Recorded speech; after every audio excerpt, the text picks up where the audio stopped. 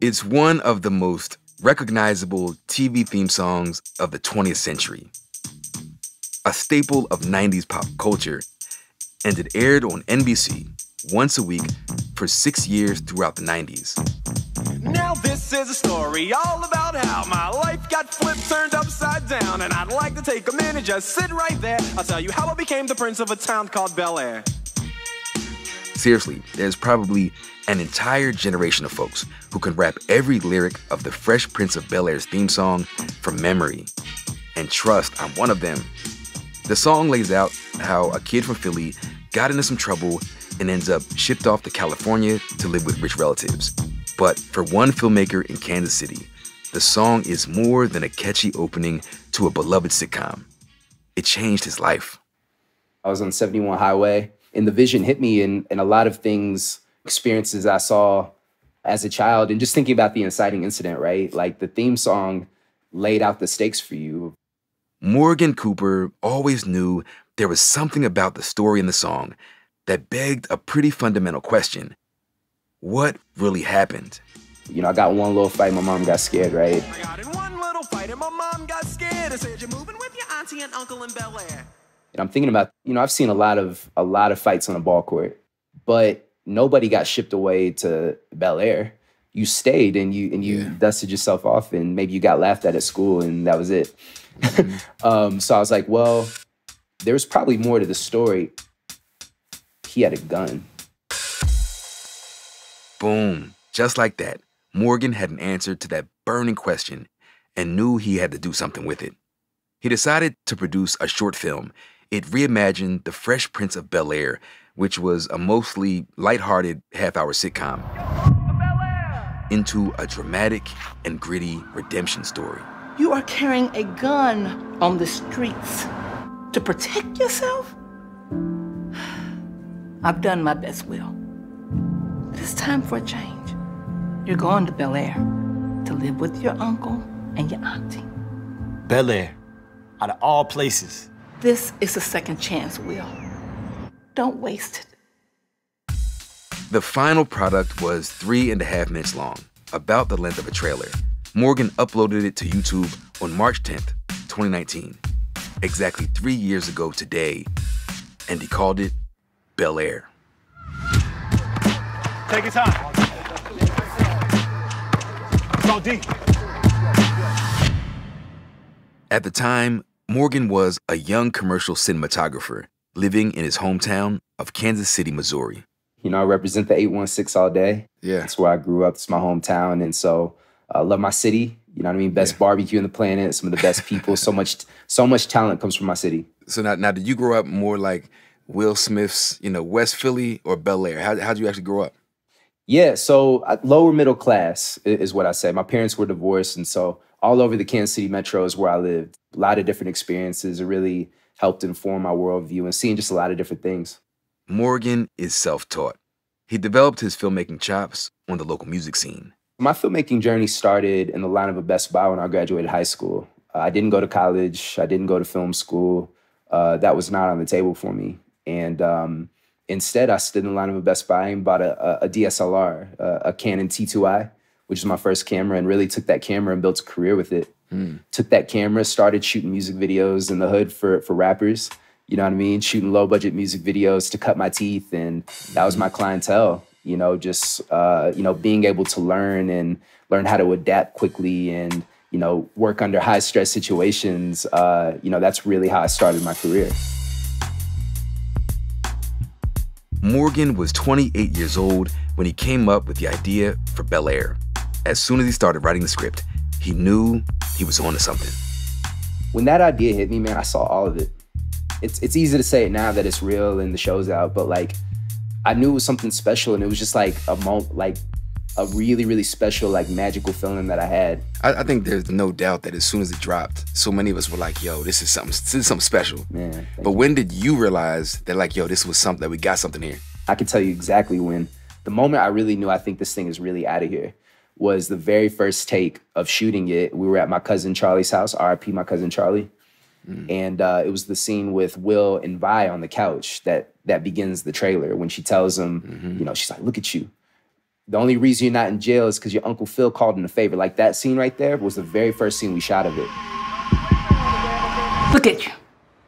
Look at you. The only reason why you're not in jail is because Uncle Phil called in a favor. And I just remember being behind my camera and looking at it, and I said, This is out of here. Yeah. Period. it's done. The day after Morgan's short film dropped, even before it went viral, and trust it went viral, he got a call. But not just any call, a call on behalf of the Fresh Prince, Will Smith. It was less than 24 hours when Will and Westbrook reached out. That's crazy. It reached out less than 24 That's hours. So it, was, it wasn't even like super, super viral yet, bro. It was like at like 150,000 views or something like that. So it was getting traction, but it was like day two when it was out of here. Day two was like 2 million. The next day, 3.5, crazy numbers. But they reached out pretty early on. And I remember going up there meeting Miguel, his manager, and Lucas Kaiser over at Westbrook, and Will was on FaceTime. And he was down in Miami doing Bad Boys 3 at the time. He had prosthetics on his face looking crazy. Mm. And he was just like, yo, bro, oh my God, Morgan, this is crazy. Like, yo. like he was just like geeked out over it, right? And, and you know, I was just just so excited that he was passionate about the vision right off rip. And he asked me point blank, he was like, all right, so what do you want to do with it? And I was ready. I was ready. That's a big question, though. That's a big question. What you want to do with it? That's a that's a big one. big question and you got to be ready in those moments those are the moments of truth and and i pitched my vision right then and there i said you know i see this as a one hour drama Mm. and he said okay come down to miami in a few weeks. And so i did. And we had kind of an unofficial development session where we talked about the show and the vision. And he had so many great ideas and, and his enthusiasm for the vision. It was just we were just bouncing energy off each other down in miami. And we shook hands at the end of the trip and said Let, let's do this. Let's get into business together and make this thing real. And the rest is history With Will Smith on board, the team shopped the idea around and eventually found a home at Peacock, NBC's streaming service. The show was greenlit for two seasons. What's more, instead of just selling his idea to a big Hollywood studio, Morgan stayed on as a writer, executive producer, and director for the series. And this year, Bel Air premiered on Peacock right after the Super Bowl. Game ball goes to Will. Way to bring it home, young boy. Hey, Will, don't forget your day ones when you in Virginia living that D1 college life. Man, you know I'm a rep West Philly wherever I go. Real rap. Hey, first day on campus, you know what, John, you gotta hit him with, right? What? Hold on, wait a minute. Hey. Hold on, wait a minute. I'm Trymaine Lee, and this is Into America.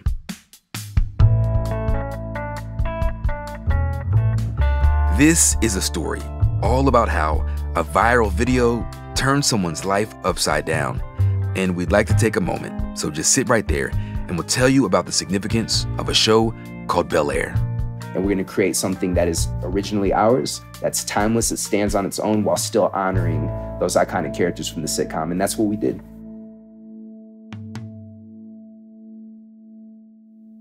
Will Smith wasn't the only member of the original cast that loved Morgan Cooper's short film. You you know what I think? I think Morgan did a very genius thing. This is DJ Jazzy Jeff. He played Jazz, Will's best friend and partner in crime on the original Fresh Prince of Bel Air. Him coming from a non-Hollywood point of view, I think that level of authenticity, there's something about this show that you're kind of like, I can see that. Yeah. To the point that I may have that person as my friend. I may know that guy. hmm I think someone is bringing a level of realism to this show that is very, very relatable. For Jazzy Jeff, seeing the new show come together has been surreal. This is the Twilight Zone. You know, I've been telling Mm. people that I'm still wrapping my head around the fact that I was on the original show and that the original show has lasted 30 years. Mm. Never in a million years did I envision me doing the show in the first place. So actually, never in a million years would I have envisioned us getting to a 30th year reunion and then turning around and now I'm watching someone play a character that I couldn't even believe I played the first time. So this is a major Twilight Zone moment for me. A good Twilight Zone though, but yeah, this is I'm I'm living in a, another dimension right now. Jazzy Jeff is one of the most prolific DJs in the history of hip hop. He got his start in West Philadelphia, where he was one half of the duo DJ Jazzy Jeff and the Fresh Prince with Will Smith. In 1989, the two won the first ever Grammy Award for Best Rap Performance for Parents Just Don't Understand. The song is catchy and a little corny, pretty different from a lot of rap at the time, and that helped push Jazzy Jeff and Will Smith, and hip hop for that matter, into the mainstream. I asked her for Adidas and she bought me zips. I said, Mom, what are you doing? You ruined my rap. She said, You're only 16. You don't have a rep yet. I said, Mom, let's put these clothes back, please. She said, No. You go to school to learn, not for a fashion show. Will Smith had always told Jazzy Jeff that he wanted to be a movie star. Jeff, he just wanted to make good music.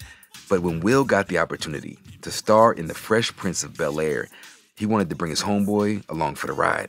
So him, you know, him basically tricking me into doing the Fresh Prince of Bel Air because he came to me, you know, in the beginning and said, "Hey, they want you to be on three episodes," and I was like, "Nope, nope, I'm good, I'm good. I do music." And he basically looked at me and he said, "Listen, do one episode. If you love it, you got two to look forward to. If you do one episode and you hate it, you only got two to do." Mm-hmm. I looked up, and six years had gone by. So I've really got to give thanks to Will for having the foresight of don't just say no because it's not what you want to do. This is going to get you to the point that you want to get to. It just might not be through the door that you thought. To get to what you want to do, you might have to come in a window. Jazzy Jeff's character was a crucial part of the show. As a musician from LA, Jazz poked fun at the bougie Banks family, sometimes saying what we were all thinking, and he gave Will's character a friend from his world. There is a young gentleman downstairs with a rather large radio who is here to see you. He claims his name is Jazz. Yo, word up, set him up. From the very beginning, Jeff was a standout. I walked into that show with zero expectation, zero idea.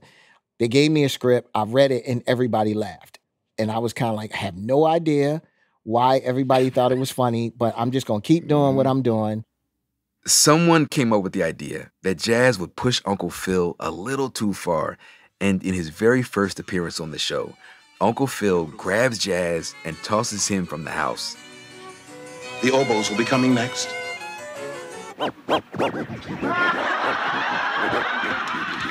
And everybody laughed. And then someone wrote it again, and I got thrown out again, and everyone laughed. And then it became, you know what? He's gonna come in, he's gonna do something, he's gonna say something that's gonna get him tossed out of the house. And it kind of became a, a, a staple in the show.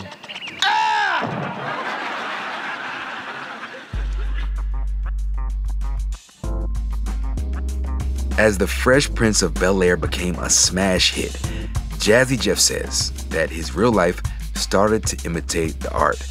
He was spending time in LA, getting successful, and his eyes were opened to a world outside of West Philly, where he grew up. It, it took a second for me to understand. The Fresh Prince of Bel Air was about someone in West Philly ended up going to Bel Air, having to readjust his life and understand that it was a bigger world than Philadelphia. Hmm. People don't realize that Will and I going out to California to do the Fresh Prince of Bel Air was that same exact story. We were two guys from Philly that were doing music that all of a sudden we're on a television show in LA having to completely change our lives and realize that there is a much bigger life than Philadelphia. Hmm. You know, no disrespect to how we came up, but I'm pretty sure if mm-hmm. we had an option for it to be different, we all would have picked that option. Mm-hmm. Sometimes you get so mentally locked in that you don't believe that you have an option that it's kind of like, yeah, this is where it's at. You don't understand. This is the greatest place in the world. You know, mm-hmm. the mind will kind of play tricks on you and tell you that keeping it real is keeping it where you are. What do you miss most about the show in the in those days? It was really a family type atmosphere, Hmm. especially me being so far away from Hollywood coming in, and this was us being transplants from Philadelphia going to LA. It really helped having a family type atmosphere because it didn't feel like you were missing something. You worked with these people, you ate with these people, we had a good time with these people. And I think that was the one thing that I missed. I don't think I ever I don't think I ever came to grips that one day this was going to be over. You know, I remember hmm. we were all sitting in the living room on the set and Will came down. I didn't really understand why we were all sitting there and everybody was just kind of talking. It was kind of really solemn. And Will came in and said, I just want to let everybody know that NBC is going to do the show for another season. And when he said that, was the first time in my mind I said, so this is going to end one day. Hmm. Like it was so hmm. second nature and so family that it was like, whoa. You know, and then I started going down the list like, wow, like television shows come to an end. You know, Will was on the verge of being the biggest movie star in the world. You know, everybody had different plans except me. You know, it was kind of like, whoa, whoa. I, you know, first of all, I didn't expect to be on here, but now that I'm on here, I'm kind of like, whoa, this is kind of cool. And then I have to come to grips with one day this is going to be over. The show's finale aired on May 20th, 1996. Happy birthday, Mr. Banks. Heard you had quite a soiree last night. That's French for shindig. What's French for unwelcome guest? And Jazz was thrown out of the Banks crib for the last time. I know that look. You're not getting any younger. While the end of Fresh Prince was hard for Jazzy Jeff, it also meant he could go back to music full time, and the sitcom had made him a household name. Television, you have 80 year old white women come up to you and say, that's jazz. Hmm. And I'm like, that's a whole different thing. And then they were like, oh my God, didn't even know he DJ. Oh my God, he's pretty good. I didn't know he made music. So it was a lesson that you got everything that you wanted out of it. It just came in different directions. Jeff was able to take his DJing to the next level. And get to the point, I'm sitting here like my brother was in the Vietnam War and I'm playing Biggie in Vietnam. Mm. Like there were so many head trips. I, I grew up in Southwest Philly. I'm looking at Table Mountain in South Africa. And music is what got me here. The pandemic put a pause on his world travel, but Jeff doesn't mind. He's able to spend more time with his family and do things like host a brand new podcast dedicated to all things Bel Air. hmm Hey, I am DJ Jazzy Jeff from West Philadelphia, born and raised from the original cast of The Fresh Prince of Bel Air, and I am super excited to talk about this show. Jazzy Jeff is a fan of the new Bel Air. He feels like creator Morgan Cooper has done a great job of capturing the Philadelphia that he knows and loves. I remember when I watched the first pilot, the first glimpse of music that came on gave me goosebumps mm-hmm. because I was like, I have never seen anything on television to represent Philly as authentic as this. And they nailed it. Mm-hmm. Even the, the the scene with the guy riding on a bicycle was five blocks away from where I grew up. And I'm looking at the stores and and I'm like, yo, you did it. You did it. Like if if there was ever a way to capture the true essence of Philly, especially in 2022, he did it. When we come back, show creator and director Morgan Cooper on some of the creative choices behind the new Bel Air. And we'll speak to the actress who plays the new Aunt Viv, Cassandra Freeman. We just kind of feel like, you know, the ancestors' hands are on top of this show in general. We'll be right back.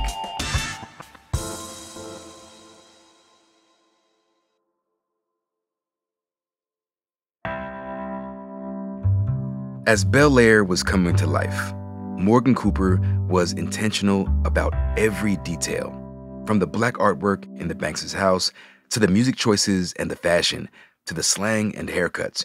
He wanted Bel Air to feel authentically and unapologetically black and true to the culture.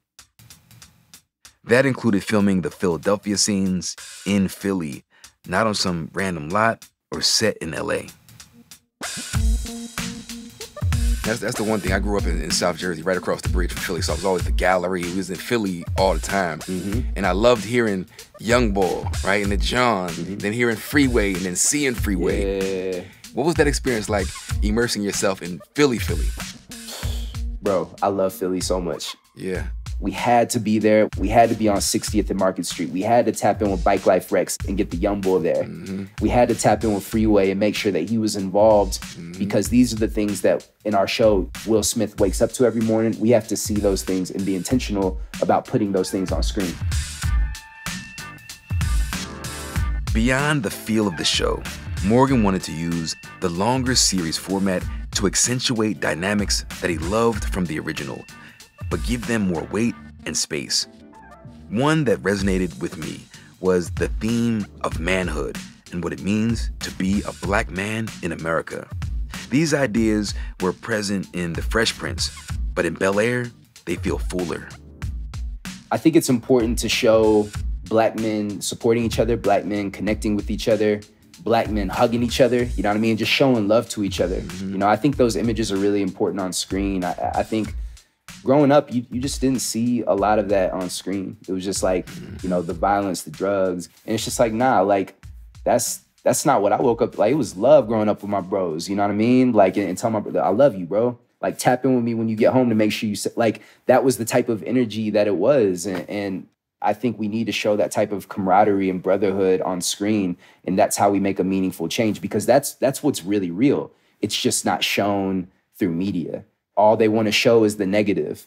We have to be the ones to change the narrative and show, like, no, our existence has far more dimension than you guys want to show. And so we're going to be there to show the power uh, of brotherhood and the power of friendship between black men. Morgan says from the very beginning, he wasn't trying to recreate the Fresh Prince of Bel Air. He wanted to tell Will's story in a way that was familiar, but was clearly and defiantly a product of its time. Listen, you can't do the Fresh Prince again. That was a once in a generation, once in a lifetime thing that they did. And so to try to reboot, you can't do it. This show would have failed. It would have been terrible. I wouldn't have wanted to watch it, that's for sure. The the whole goal was like, how can we honor the spirit of these characters, right? While completely making them new and dimensionalizing them in a way that you couldn't do in a half hour sitcom 30 years ago. So, right off rip, it's like all due respect to the sitcom and what they did, but our job is to, you know, create iconic moments through this show. And we're gonna create something that is that is originally ours, that's timeless, that stands on its own while still honoring those iconic characters from the sitcom. And that's what we did. So that meant finding the right actors to resurrect and reimagine all the characters we loved from back in the day by taking them out of the fun loving 90s and into now. I just feel so considered. Like someone thought it's important that Aunt Viv's a real person. I feel like all of Bel Air in general just feels like, listen, we thought about that and we are trying to be intentional. Cassandra Freeman plays the beloved matriarch, Vivian Banks, in the new Bel Air.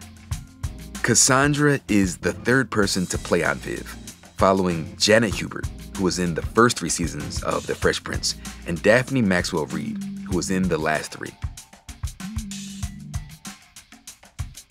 It would be hard to come in as the second or even the third and think people would forget the first. You know, if it's like mm-hmm. a real family in a way, whoever is your mother to start off something, you're like, that is who it is. Don't be over here trying to say that you're my mama. Okay, I already got a uh-huh. mama. Sit down. mm-hmm. So we're fans of the shows too. So I feel like in a way we're like antique collectors, where we're like, you know, let's put on our white gloves and really take care of the legacy because it's their legacy, and we're just here to try to elevate it to this world of drama.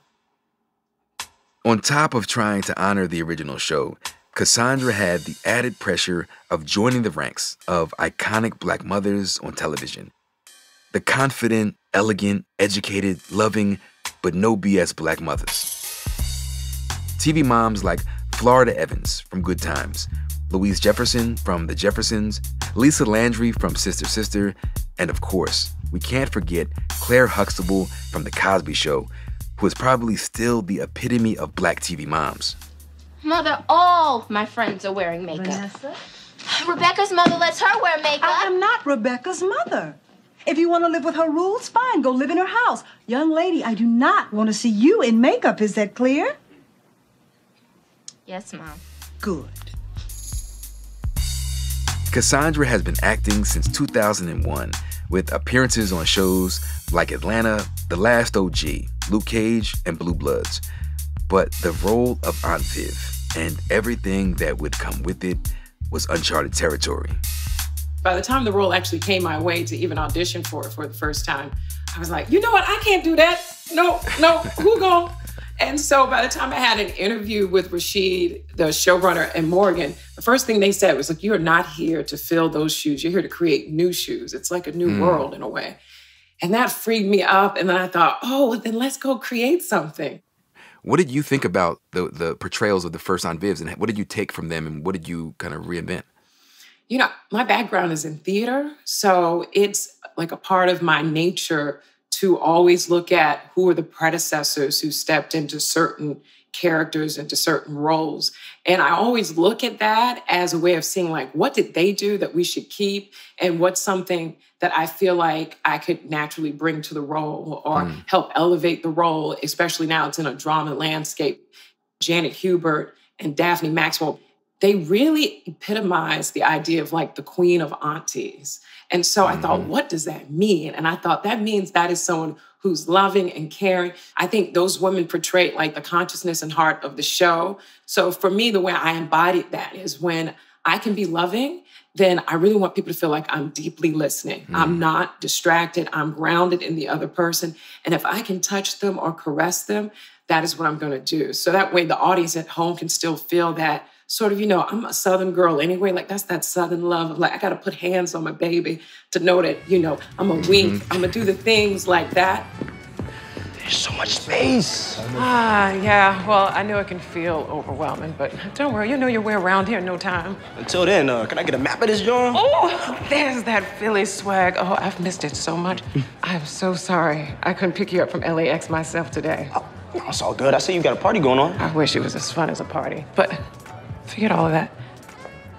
Are you all right? I mean, after everything that happened. Yeah, it's all good Aunt Viv. You know, got in one little fight. My mom got scared. I'm just so happy you're okay. And then the things that I wanted to bring was to make sure that she felt like she was still grounded in that Philly sensibility. Like she didn't lose herself and like she's in this world. I did not want that for her. And that was the first mm-hmm. thing I talked to Morgan Rasheed. I said, I felt like if I owned her, she has to feel like she's grounded in where she's from. And the way that Jada Pinkett, you can feel that girl is still from Baltimore, even though she's surrounded by luxury. And I thought that's the same type of lifestyle I wanted to bring to her, or the same type of essence. In both shows, Aunt Viv is married to the wealthy Philip Banks and mom to Hillary, Carlton, and Ashley. But she's Will's mom's younger sister, also originally from Philly. So she's the only one who truly understands Will's two worlds. Aunt Viv has always been a source of love and strength in the Banks family, but all three Aunt Vivs have been very different. Janet Hubert was outspoken and fearless. Now, officers, I'm sure we can clear this whole matter up quite easily. Could you please sit down? We're busy now. Oh, honey, we're about to get very busy. while Daphne Maxwell Reid was warm and steady. I cannot believe that you and Carlton are moving into your own place. Seems like just yesterday when I was wiping the tears from his eyes. No, no, that was yesterday Aunt Viv. I told you that boy wasn't ready for Jurassic Park yet. Cassandra wanted to create an Aunt Viv that we could all recognize, but also someone who fits in 2022. I messed up. I owe you two everything. You want to repay us? Be the Will who charmed West Philly with his swag and his talents. Because if that Will turns up at Bel Air Academy, it won't be long before you run in that John. In Bel Air, the character is more fleshed out and complex. This Aunt Viv is no longer in the shadow of Uncle Phil or just a shoulder to cry on for Will. She braids Ashley's hair, has deep conversations with Hillary, and hosts parties with her sorority sisters. She's also an art history professor, wrestling with her identity as a politician's wife, a mother raising black children in white and wealthy Bel Air, and her former career as an artist. In one scene in the new show, Uncle Phil and Aunt Viv meet some donors for Uncle Phil's campaign for district attorney when a woman recognizes Aunt Viv for her artwork. Uncle Phil quickly chimes in, minimizing his wife, saying she used to be a painter. Why'd you say I used to be a painter? Hmm? Oh, I just meant you're not currently painting at a professional level. You're an ex artist. Artists don't cease from being an artist, even if it's been years from their last work. I really appreciate that that's where they started Aunt Viv. I mean, it's in our culture to automatically make Black women become the archetype of strength. Mm-hmm. Let me tell you something. We are fragile people. We are people who want to be taken care of as well. You know, we're as light and as sensitive as you would think any little, you know, skinny blonde woman is too. So our skin always seems like it, it doesn't take pain. We do take pain. And so what I love is that you see like a little bit of that discomfort in her. And what happens? It's like a splinter, and that splinter keeps growing until it gets infected. And she's like, we have to do something about it. I think it's wonderful to see. I think it's that a part of the statement for me for Aunt Viv is that it is never too late to begin again. You know, it's never too late to reinvestigate who you were as a younger person and invest in that, right? And that's a mm-hmm. big part of her journey. And when that happens, people gonna get a little uncomfortable, and um, they're gonna have to have conversations. And I think the conversations that you see that will come out in later episodes with Phil are just such grown people loving, warm, challenging conversations of what it means to be married, to have sacrifice, compromises, the challenges, and what you wish the other partner would have, could have done. You know what I'm saying? So I just love that's where they started because you're right. The original, it was like she is together and she knows everything and everyone stand back. I love that the new version is like, maybe I do have more things to learn um, because mm-hmm. that's real. I mean, that's is. that's much more real. It's like this whole show is just a remix. It's like all the things you love, it's just remixed a bit, but the flavor is still there. Peacocks, we're marching down. But one of the most dramatic changes in character is Carlton Banks. In the sitcom, Carlton was the preppy, dancing, happy go lucky rich kid who bickers with Will. See, now that's exactly why people be pushing you down the steps, man. Carlton. Oh, I knew it. I knew it. I knew it. Oh, I'm out of here. Carlton. The new Carlton is much more layered. He's still a privileged rich kid, but now he's super popular at school. He gets the girls, is captain of the lacrosse team, and is junior class president. But he's also angry and calculating and cunning. He struggles with anxiety and his identity, and he's much more confrontational with Will. There's one scene where Carlton is in the boys' locker room with his white teammates, and they're all singing along to rap lyrics with the N word. Will walks in and confronts Carlton and his boys, and later, Carlton still doesn't get it. Day one at Bel Air Academy, and you're already playing the race car. Hell Good yeah, job, I'm pulling Will. a race car, Carlton. Yo, so let me get this straight, man. You really don't have a problem with a white boy saying nigga right in front of your face? It's just a word, dude. Chill out. No, I ain't chilling out. Your boy Chad was wildin', yo. First of all, his name is Connor. Connor, Chad, Brad, whatever the f- his Wonder Bread ass name is, he ain't with the culture, Carlton. And clearly you ain't either. You're really flipping out over a word that black rappers sell to millions of white people like Connor every day. And you expect him to not say the words that they're listening to?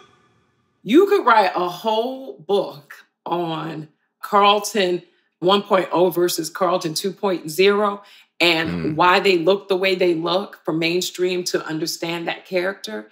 And Mhm. a lot of us in the culture, I think we understand. I think some of us in the culture, it's still hard to understand because you might have to face what it means to treat a little black boy the way that he's been treated. All of his mm-hmm. life surrounded by these white people telling him, just like people have told me, oh, you're pretty to be a dark skinned girl. Oh, you know, mm-hmm. you're so smart to be black. Wait a minute, where did you grow up? Like all of these things where you have to constantly reaffirm your education, your upbringing, that you're clean and good and kind is actually part mm-hmm. of what it means to be black, not outside of what it means to be black. So if you start young enough with any individual, what type of self hate are you creating for them to not even want to be a part of their own culture? And I'm not even saying that's all true for Carlton, but those are uh, a lot of, you see a lot of those strokes in him. Without giving anything away, I think folks should go, you know, watch this show. It's it's really brilliantly done, and it's again enough of the past that you feel it feels familiar, but a nice departure from what we thought we knew. Was there ever any concern about like, do we going too far, or is there any eh, was there ever any conversation about like, do we really want to go there with Bel Air? In a way, no, and in a way, yes. We really wanted to honor the essence of what that show meant at that time and what it can mean for this generation moving forward. It's no yes because we're not doing a comedy. And the thing about tragedy and comedy is that tragedy and comedy, you know, they live next to each other. Richard Pryor can make a joke about being set on fire. That is tragic, but you twist it just enough so you can stay light. And this, we're like, we're not going to twist it. Mm-hmm. Instead, we're just going to live in the reality of it. And I think for some people, it might be really uncomfortable to have to deal with what the real essence of truth is. And so I feel like this show is like, it's like the best of soul, where it's like the A part is joy, but the B part is sorrow, and together it's just soulfulness. So, you know, it is dark, but something about it also feels life affirming because through struggle, you always can get to the light. Another choice that sticks out in the new Bel Air is the complexion of the cast. You know, one other thing that's going to make a lot of people comfortable and some folks uncomfortable is how beautifully brown this cast is, right? There, obviously, we know in our community and even in the industry, there's wrestling over issues of colorism that people see and some don't see. But this cast is so beautifully brown, right? Uh, what was it like to sit in that and portray that? We don't often get a chance to see that. You know, you know, it feels like a warm bath.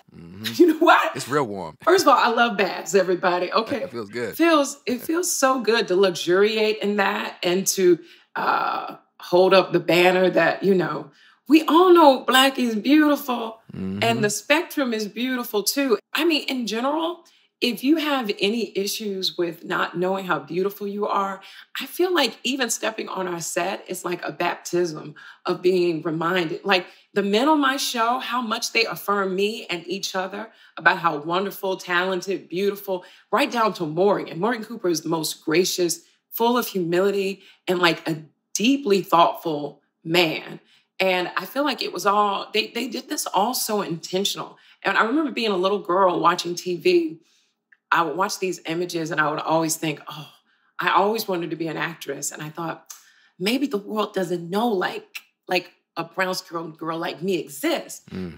Because the messages were like, maybe I'm not as pretty, even though I had a dad who told me from day one, I'm pecan tan. So I never really grew up with thinking I wasn't beautiful, but I grew up thinking, am I an anomaly?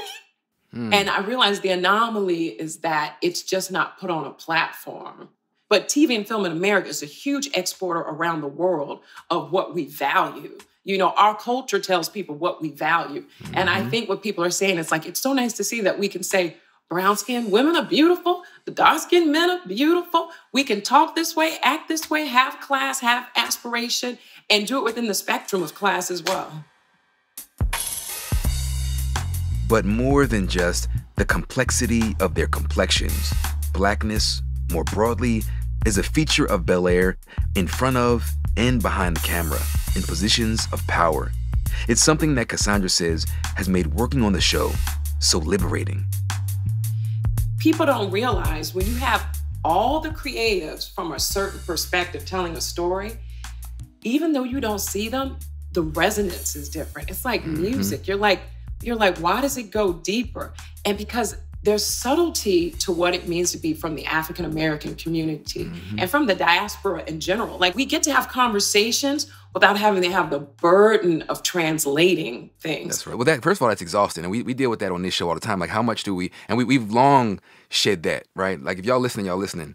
But that is exhausting. That's a burden that Black folks have to bear. Where it's like we're not here to educate you and teach you and hold your hand. It feels like people are talking down to you Mm-hmm. as a black person when you're watching black content and you see that they're giving you definitions and da, da, da, and you're like, please just stay on story. Please don't translate. And we know what shows those are. Right. Instead, we get to just be like shorthand with each other and then go do the thing. Mhm. I mean, I can't tell you how many times I would say something offhand to Morgan or to one of the showrunners, and then it would be in the show, it would be in the line, it would be in the field. And I'm like, y'all listen.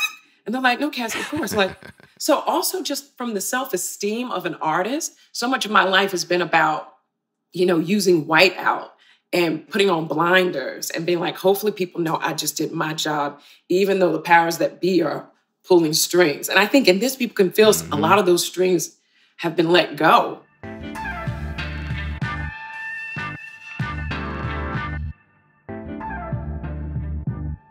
I know when some people um, create art, you know, they want to leave it to the person who is consuming or viewing or tasting the art to walk away with what they will. And I wonder for you as an artist and part of this art project that is Bel Air, so beautifully done, is there anything that you want the consumers of this, the viewers of this, to take away? I love that you call it art because that's how I see it. I think anything is art when it's this layered and nuanced and intentional. There's so many things I want people to take away. It's it's it's almost overwhelming. You know, I hope mm. people come here and they feel more beautiful and feel like whatever makes them distinctive was done purposefully and wonderfully. I hope people leave from this and get curious about black art and see, you know, Devin Johnson up on our walls or, you know, Martell Chapman or any one of these like amazing black artists and be like, oh my God, black art, is it really hitting like this? Because it is a moment in black art right now too. I hope people watch this and they reconsider even how they they might raise their kids. Like Mm. the way Viv and Phil have tried to raise these kids and now will, I think is through the lens of how I raised my son, which is to remind people of who they are, not of who they are not. Like, remember who you are. You're a king. I always knew that you were going to be taken care of, that you were going to be loved. Like, uh, those three, Hmm. four, five things right there. I feel that was a good enough reason to become an actress. Bel Air has given the cast and crew of the show a chance to be seen, a chance to be heard, and a chance to be understood. And for the show's creator, it's changed his life professionally and also personally.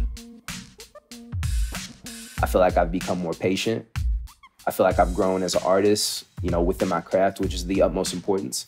I feel like I've grown as a man. I feel like I've grown as a collaborator. Uh, I feel like I've grown as a friend. Listen, it's it's like yards after contact, right? Like you catch the ball, you gonna that hit's coming. You know what I mean? It's part of it. Uh-huh. You, you take that hit and you keep the legs moving, right? So I've definitely, you know, made my fair share of mistakes in the process because we all have. Like that's filmmaking, and that's the process. But you learn. You know, I remember being at the the Fresh Prince reunion that they were filming for HBO, mm-hmm. and I was sitting with the original cast, and Daphne Reid looks at me and she says, like, "We're passing you the baton. Wow, it is now yours."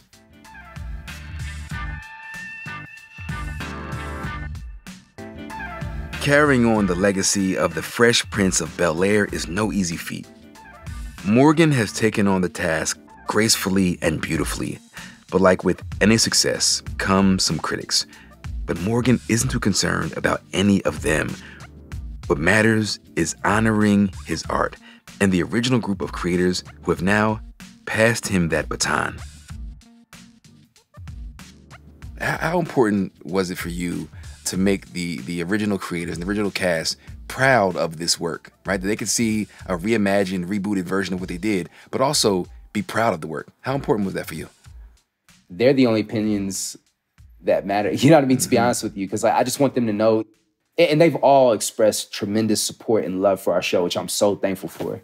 You know what I mean? I, I I had a chance to chop it up with DJ Jazzy Jeff on numerous occasions at this point, and he's just expressed his love. And of course, you know, Will championed the show since day one and loves the show, and Tatyana tweeted, you know what I mean? So like that love is that love means so much to me. I wanted them to know right off the bat, like I really care. You know what I mean? It's mm-hmm. like I didn't make this to to blow up or what. Like I made it because I, I'm passionate about it and I love the show and I hope they feel that love. I hope they feel the the care and the craftsmanship that was put into it by you know this phenomenal cast and crew from every cameraman to every PA, COVID supervisor, production design, you know, to this amazing cast, all the background. We all love this show. You know what I mean? Mm. But this show starts with the love of what they made 30 years ago that changed all of our lives, that changed the culture. Who would we be to not take it seriously, to really make sure like you guys are in good hands and, and we love what you guys did and just want to honor it through this reimagining. And so it means the world. It really does. And uh, I get emotional thinking about it, man, because like, you know, anybody out there, you know, just know that if you have a dream and it's within you, you can do it. And, and I hope my story is living proof. You can be in Cincinnati, Ohio. You can be in, in in Milwaukee. You know, you can be in in Delaware. It doesn't matter if it's in you and you believe in it. Mm-hmm. Pick up a camera, pick up your cell phone, and, and hit that record button and tell that story. Pursue it with everything you have, and, and just know that it's possible. I promise you, it's possible. And believe in yourself and believe in the stories you have to tell because they're important. Bro, I'm about to get a camera, man. That was that was inspiring, bro. I'm about to get, I'm about to get a camera. I'm not mad at that.